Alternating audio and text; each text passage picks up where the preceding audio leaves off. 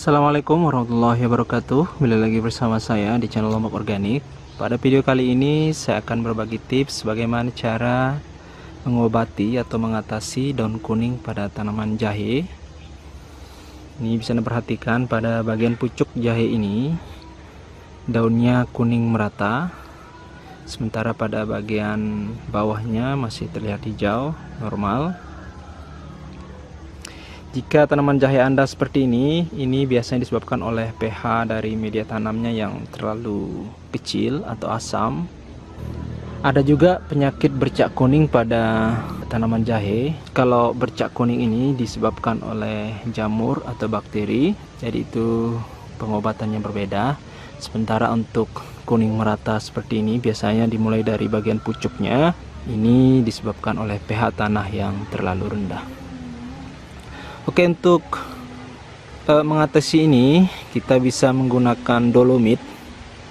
Jadi ini uh, kapur dolomit, kapur pertanian.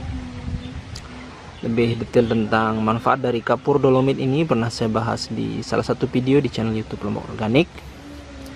Oke di bagian sana saya akan memperlihatkan Anda tanaman jahe yang sudah kita treatment atau sudah kita berikan dolomit 2 3 kali dan terlihat sudah kembali hijau kita akan lihat.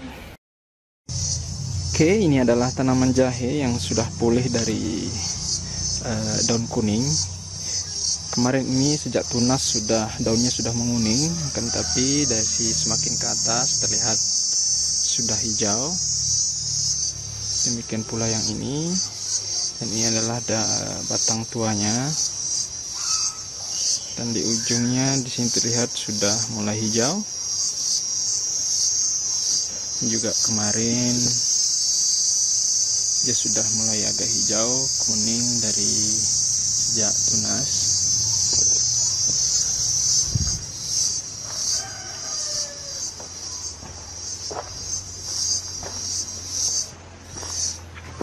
Dan di sini juga ini kuning dari bawah dan di atasnya sudah mulai hijau.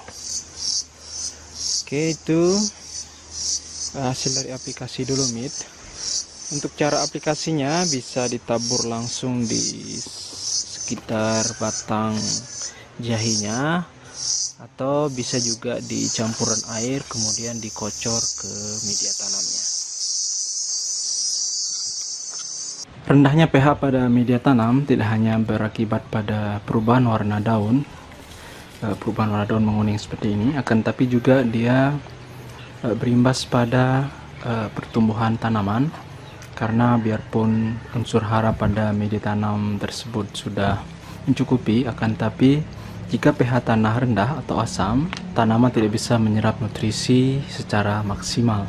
Sehingga keadaan pH normal untuk media tanam sangat penting untuk diperhatikan. Oke demikian tadi cara mengatasi daun kuning karena pH media tanam yang terlalu rendah. Semoga video ini bermanfaat. Sekian, Assalamualaikum warahmatullahi wabarakatuh. Salam organik, Lombok Organik.